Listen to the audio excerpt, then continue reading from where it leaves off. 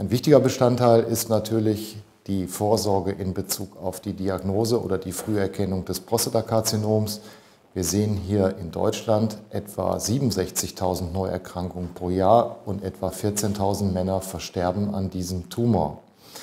Die Heilungschancen sind umso besser, je früher dieses Karzinom entdeckt wird.